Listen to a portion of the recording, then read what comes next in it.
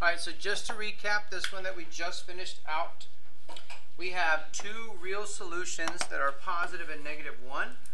So that means if you were going through a graph, you were cross the x-axis at those real solution points.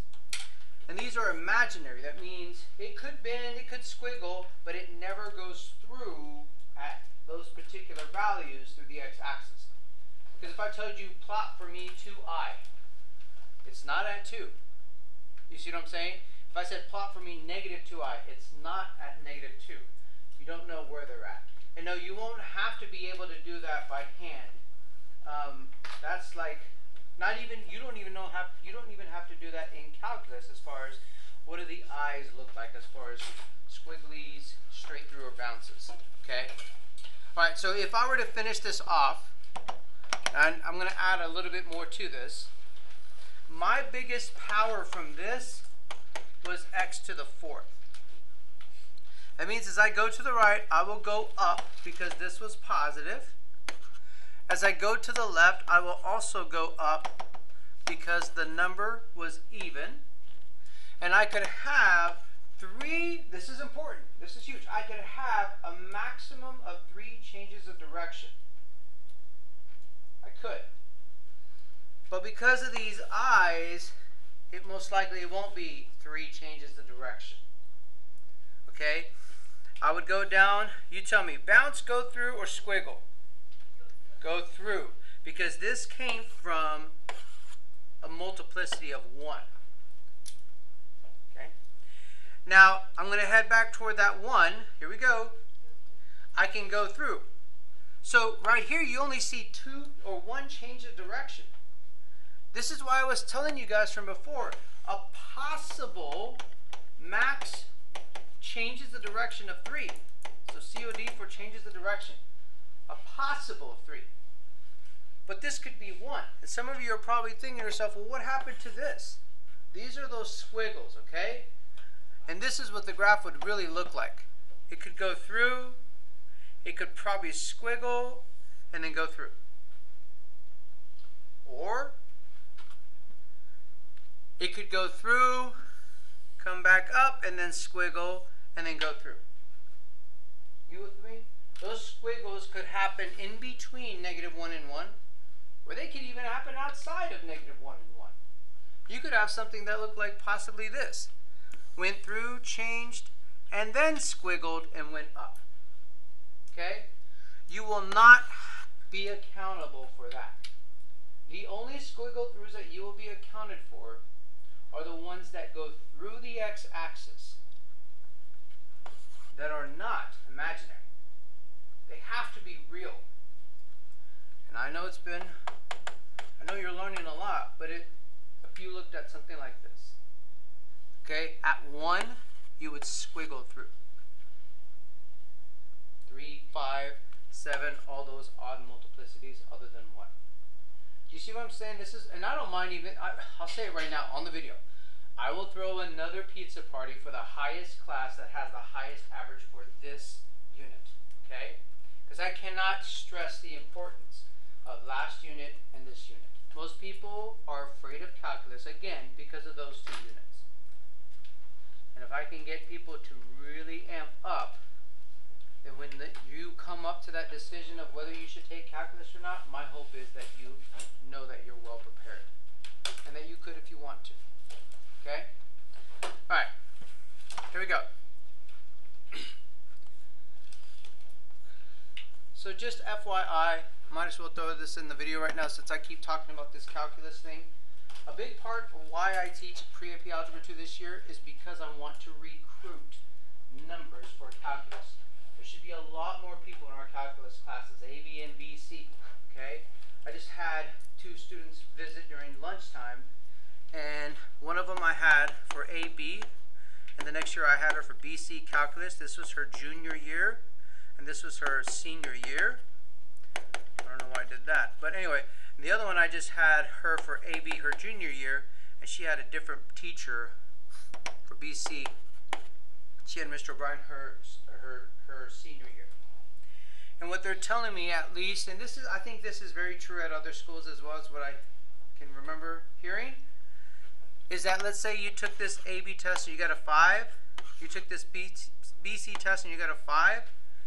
In most colleges, they will accept this one, but they'll ask you to retake that one after school. Even though you got a 5.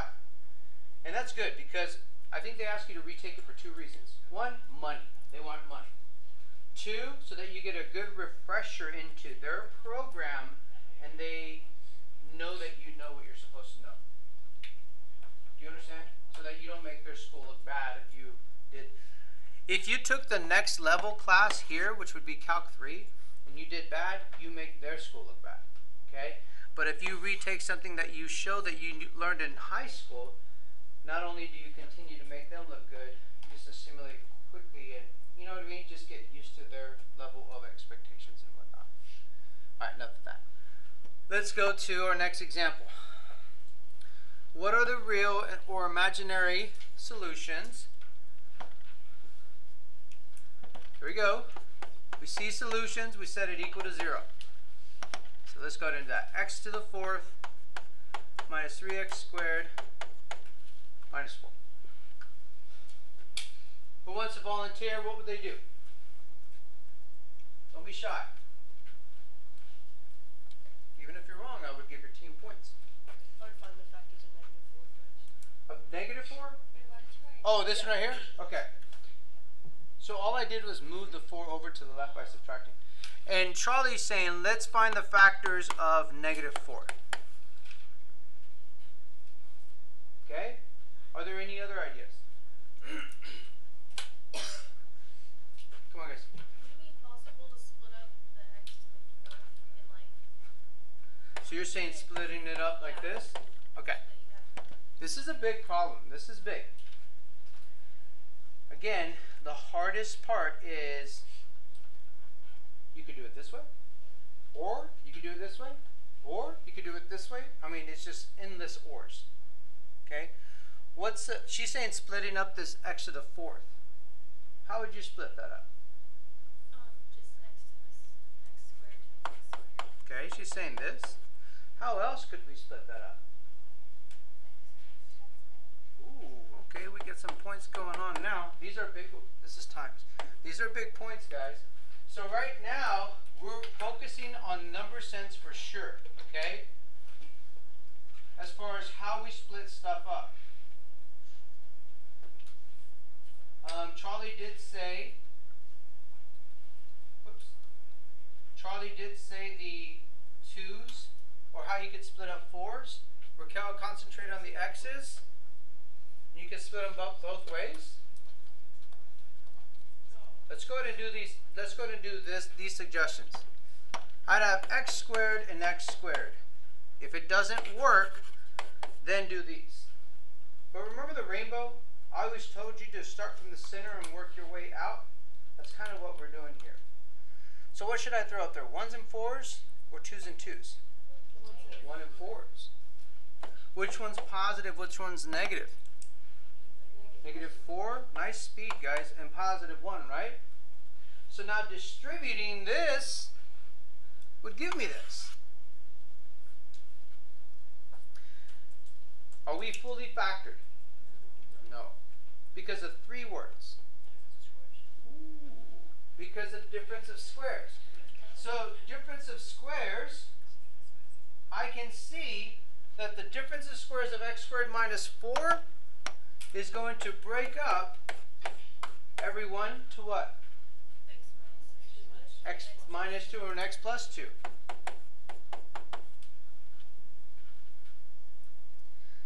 Can I factor this out the same way? No. No, because there's no such thing as sum of squares. So I would just copy it down. Is it fully factored? Yes, it is.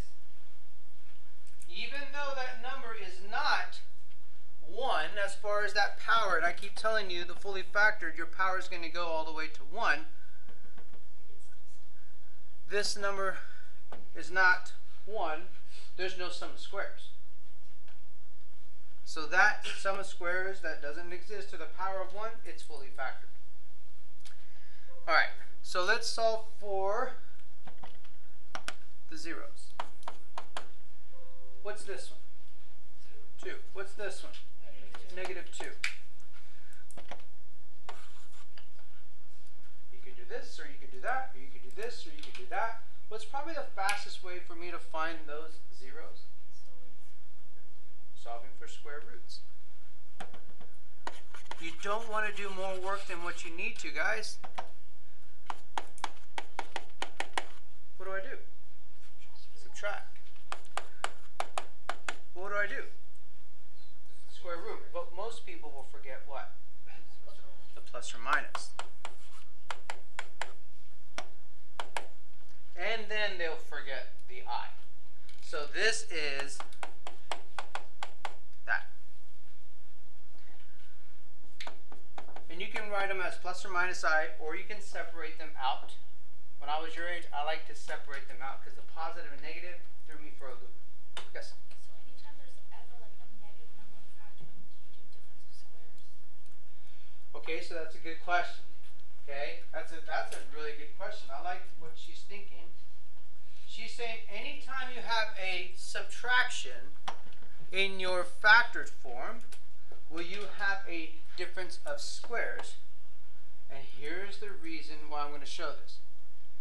Yes, if you could take the square root of this and the square root of that. Can you take the square root of x squared? What is it?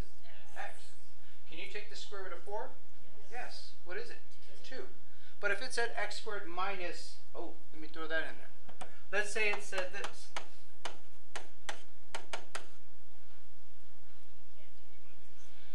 You can still do it, but it won't be a whole number. You with me? It'll look like this. We know it's going to be plus and minus. We know it's going to be x and x. But this is going to be that. Could you do it though and just get like an imaginary number? Like the other way? Okay, that's the the question that that's the one that I was hoping someone would ask. So this one's not the 300, okay? This one is a 200 question, but it's not a 300 question. She's saying this one, if it's x squared plus something, will it always be the imaginary? Yeah. For 300 points, what's important about that answer? What can you interpret about that answer? I'm trying to lead it to you without you without giving it to you. We'll come back to it. We'll come back to it. I'm gonna ask that same question in just a bit. You weren't listening, no worries, I'll ask it again. So you have the two real solutions are negative two and two. The imaginary are i and negative i. How many x-intercepts, everyone? Just two, because x-intercepts are where the real numbers are at. Okay? Start looking at all your answers, okay? I want you to look at all your answers because that 300 point question, you'll see what I'm trying to get you to ask or know. All right, here we go. this one is the same thing, same question. The only difference is graphically it showed you what we just said. The real ones will cross the x. The imaginaries never cross the x, but it shows the bends that could exist between them. With me? Okay. Yeah. So if it's x to the four, is that where you see imaginary numbers? It's because x to the third, I noticed we didn't have any imaginary numbers, but on x to the fourth we did. Did that correspond at all, or is that? No, you see what she's asking? Because it's x to the fourth, you're going to have imaginary. The biggest thing that will tell you whether you're going to have imaginary, and this is why I gave her 20, 200 points, was what Sammy said. On your factored pieces, if you have x squared plus something, then you're going to have some imaginary. Because there's no sum of squares or sum of square pieces. You see what I'm saying? All right. Let's go to. That's awesome, Sam. Nice job, too. Because the other classes, I led them to it, but you asked before I even mentioned it. All right, so x to the fourth.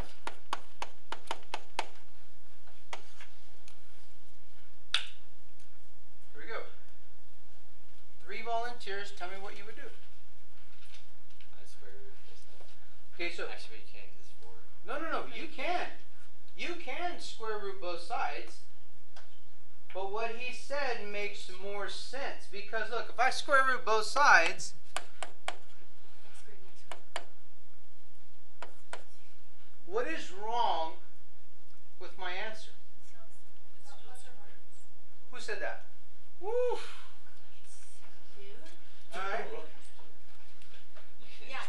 Yeah, he said that. So He said square rooting both sides, look at this. I would need this. And now we're talking about a lot of pieces here because we would still have to square root again. Then you have another plus or minus. So he did catch it, and that's why I'm going to give him points. The whole square rooting is important, but what's more important is, is that he caught, maybe I don't square root.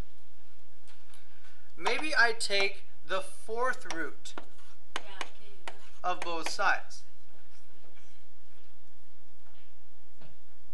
Anyone, what would I get? Plus or minus two. Plus or minus 2. What would I get? You see what I just did? I took the fourth root of 16. Means what times itself four times, because it's the fourth root, would give you 16. It'd be 2 and negative 2. Wait, so So- one's the right answer? So hold up, real quick. I gotta give him points. Is it that way and that way? It is plus or minus. Drew, why is it plus or minus? Because negative two times negative two is positive four. True. Who else wants to answer that? Um, if it's an even uh, number of answers, then If you it's don't an count. even number, it will be plus or minus. If it's an even number, if this right here is an even number that we're going to take the fourth root, the sixth root, the eighth root, or whatever, it will always be a plus or a minus. Why? Because, because of this. No, no, this is a huge why. Because even factors have a multiplicity of 2, so that you will have two answers. And plus or minus means two. Yeah, plus or minus means two answers. Okay? So if it's 3... Ooh, that's a good question, and that's that's one that we were needing to ask and no and no, because if it's three, it's not going to be plus or minus. Can someone tell me? Ooh, that's wrong. Can someone tell me what x would equal on this one? Yeah, could you could just do the square root of it? Or- Not the square root. That's what I'm trying You to see. cube it. You can The do the cubed root. Yeah. What's the answer? Three. Negative two. Look, That was close enough. Because negative 2 times negative 2 times negative 2, because there's 3, would give me a negative 8. This is why I gave her points on this one, because what would this answer be? Two. A 2. This is why on x squared, x to the 4th, x to the 6th, any even, why we could do the plus or minus answer. So it can be. But we can't do that on a cubed, or to the 5th, or to the 7th. Okay? Alright. How many of you, be honest, when you first saw this, would do that? You got to know the skill. I would think. Okay? With this, if you did that, because most of these we're setting it equal to zero, right? And solving. What three words? Difference of squares. Watch what I'm about to do because you'll have to learn this skill too. And it's a little confusing. Watch. A difference of squares. Pick the square root of the first one. What do I write? X squared. Take the square root of the second one. What do I write? Four. Look at this. Remember what Sammy said on this? This one's fully factored. I'm done. But this one is going to go to what? Yeah, difference of squares. X plus 2, x minus 2. What Sammy said on this. So if I told you to fully factor something to its most factored form, you would write that. That's what Okay. I've been doing. Let's see if you can do it in your head. What are my answers to the first one? Plus or minus 2i. Nice. And then Negative Negative two. negative 2 and positive 2, right? Yeah, you could do that if you want. There's many different ways to do this, guys. Okay. Um, let's see. The real are the positive negative 2. The imaginary are the positive negative 2i. Now, Wait, so why didn't we just do that? wait, what? Why didn't we just do that? Setting it equal to zero. You can. There's just many different ways that you can factor it. Here's the thing. When I was your age, we didn't have club volleyball, club basketball, all this other stuff. We didn't. That takes a lot of your time. What did we have? 40 to 50 problems of homework every night that we went home. That's what we had. So the experience that I have is a lot. Like a lot of you can play some mean volleyball. That most people, when I was growing up, couldn't play that well when they were in college. Until they were in college because of all the years that they practiced. Right? But mostly when they were in college. What we could do well, that unfortunately a lot of people, y'all's generation, is all this homework. Because we have so much practice with all those homework problems. Okay? This is why I try to reach y'all's generation per se, is through group bonus points. I would think of all these questions when I was doing 30 to 50 problems a night. I want you to think of them with four or five questions. There's a lot of brain power that actually goes into that. And more brain power to keep it in there so it doesn't seep out when you leave the room. Okay? Alright, so this is the question, this is the thing that I wanted you to identify. Some of you saw this x squared and it made sense to you to break it up. Especially seventh grade. Y'all are killer with number sense in your mind. But some people don't like the way that 4 looks. Okay? They would want to break this up per se. Um, let me show you what I'm talking about. Some people are not comfortable with x to the fourth. Most people are more comfortable with x squared. Go with me? So when you see this right here, x to the fourth minus 16, here we go, watch. People said, when you see an x squared, change it with a. Now watch, you have to learn this skill though because of substitution that comes from in pre-cal. Let me show you what's happening. x to the fourth is this raised to the what power? Second. You with me? So it's like saying a squared. Is x to the fourth. And if I see a squared minus 16, you got points for it, difference of squares, how could I factor this?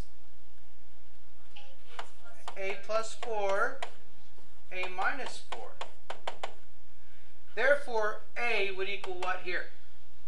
Negative 4. Good job. What would a equal here? 4. But then we would go back and replace and solve this one and solve this one. What's this? What's this? You guys are killing it. Many different ways to solve the same problem. The more you know, the faster you'll be at SAT, ACT, and anything else that comes your way for the rest of your math career in high school at least. Okay? Questions? Alright, so let's go to a couple more examples to finish off. They're like special case scenarios. I want to make sure that you understand what to do, when, and why. We have these that look like this. See, yeah, this is a different example altogether. So everything that we've learned so far is important, We'll put it off to the side. Put it off the side. Like erase your mind just a little bit, your, your memory. Not your hard drive, just your working memory. we're going to learn how to factor cubes. This is a sum of cubes. Sum, addition. Cubes, because each thing can be cubed rooted. Okay? Let me help you out real quick. What are the factors of 12? Come on, guys. 1, 12, 2, 6, 3, and 4. That's it. But they came in pairs, didn't they? Two numbers. Pairs. When you factor cubes, one of them will be 3 and the other one will be 2. And the reason why is when you redistribute it all out, you would get x cubed plus 27. So write that in your notes, please. That's first and foremost important. The first one is two terms, otherwise a binomial. The second one is three terms, otherwise a trinomial. Here we go. The steps to factor sum and differences of cubes, because that has both. Sum of squares, bad. Does not exist. Difference of squares, yes. But cubes, you have both sum and difference. Here are the steps. A lot of people miss things because of negatives. This soap will wash your hands of worrying about negatives, pun intended. Will wash your hands where you don't have to worry about negatives. It will take care of the negatives with this acronym. Same sign, so same. So you see this right here is a x cubed plus. So the same sign is going to be a plus. O is opposite sign. Okay, so the opposite sign of what was highlighted originally right here is now going to be a minus. Okay, same, opposite, always positive.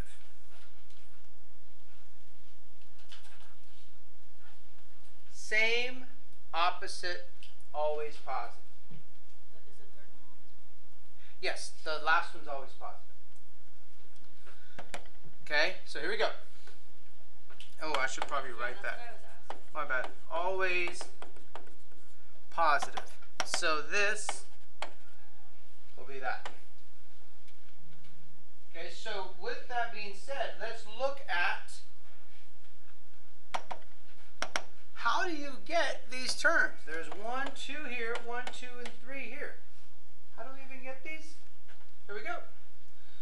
This first one is going to come from that. What's the cube root? X. This second one is going to come from that number. What's the cubed root? 3. Okay, you ready? Next step. So first step, we did the same opposite, always positive. Step 2, we took the cube roots. The last step is square this and get x squared.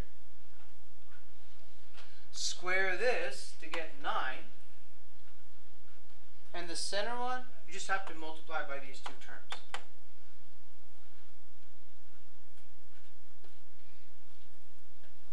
I'm trying to see if there was a question. Wait, how's that three the center? You multiply those first two, those two terms right here. These two multiplied together will give you that. Notice that I didn't circle the signs. I let soap take care of the signs. I didn't circle positive 3 because it could have been negative. And I didn't circle this negative 3x over here in this trinomial because again, I want the soap to take care of the signs. So your linear is x plus 3. Your quadratic is that. And we're going to stop for now right there with those examples. We still have a couple more examples, but I'm not going to solve it out loud. So for using soap, so if it was like x to the third minus 27, it would be x minus 3 and then x squared plus 3x. Yeah, yeah. So if it was x cubed minus 27, it would be, here we go, Same, opposite, always positive. The cube root of this, the cube root of this, oh, that's wrong. This should be what? 3. And then square this x to get x squared, square the 3 to get 9, and what would be the last one in the middle? No, a lot of people make that. Who said? Who else said negative 3x? Okay, so that's a big mistake. I still give them points for it because it's not the negative. You're just looking at this and this. What's 3? What's x? 3x. Let SOAP, let SOAP worry about the signs. That's not the question I was going for, though. I was wanting to give 200 points for a different question from what I wrote.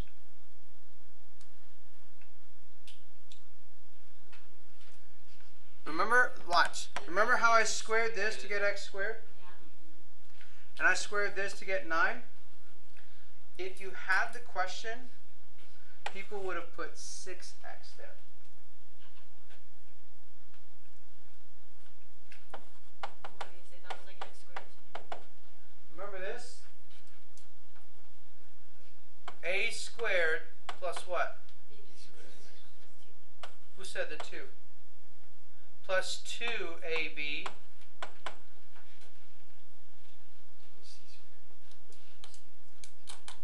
plus 2ab plus b squared. Do y'all see this 2? Do not do that when you're doing sum or difference of cubes. Okay, again, 30 to 50 problems a night, maybe 15 problems. Okay, I need you to understand certain important red flags. Okay, all right, let's do the next example. Pretty much done. I think we have two more. Um, okay, 8x cubed plus 125. I'm gonna I'm gonna take over now because we're running out of time. Okay. Sum of cubes. Two, three. Because it's a positive, it'll be the same, opposite, always positive. What's going to be the first term? Nicely done. 2x. How do you know that? Because If I take this cube root of this, here we go, look at this. I'm taking the cubed root, like I did on the other ones. The 8 comes out as what? 2. The x cubed comes out as what? x. And you just have 1 left over, which is just 1. The cubed root of 1 is 1. That's why it's 2x. What's the cubed root of 125? 5. Here we go. 2x is going to square to get what? 4x squared. 5 is going to square to get 25. Please don't mess it up. And the center is going to be 10x. Let's SOAP worry about the signs. The linear is 2x plus 5. The quadratic is all of this. These last two go fairly quickly now that you get the gist of it. But please don't put up yet, okay? Because I want you to understand fully. Because the 300 question, really you can see on the last, last example. I'm asking you to factor this expression. Who can tell me what I pull out? 3x. What's left over scraps? Minus 1, right? A difference of cubes.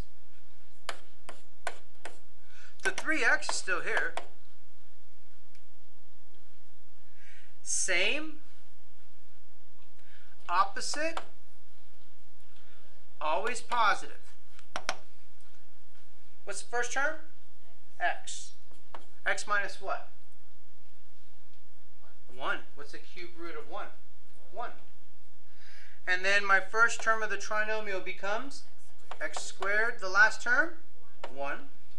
What's that middle one? X. Nice job, guys. So, listen, we're not done yet still. This is fully factored, though. Okay? We have, I think, one more example.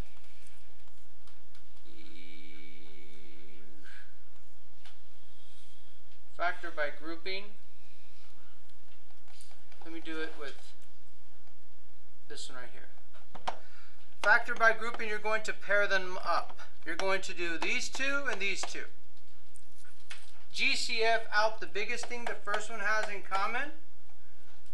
GCF out the biggest thing the second one has in common. Okay, so in case you can't see it from the back, this is x to the fourth plus 3x squared. I'm putting these parentheses because I'm doing factor by grouping. Remember you guys would look at my hand and I would show you how 3 could become 4 and then you would pair them up. So 3 became 4, you pair them up GCF. Okay? Guys, what are the scraps left over? x plus 3. What are the scraps left over? x plus 3. Ooh, two of a kind? That's one of my answers. X cubed plus x is your other answer. It's not fully factored though. What could I factor further? I could factor out an x. Is this fully factored? This is fully factored because of what Sammy said. If it's a sum of squares, there's no such thing. It's fully factored. We could go further to get the roots, but we're not asked to do that in this question. And I promise, I needed to show you that for sure. The question is just a fully. Well, it was showing like linear and quadratic. So whatever was linear and which one had x squared. This is the last one, guys. Promise. The last one. I have x times x squared plus 8. Please don't put up 8 times x plus 1. We have one more minute.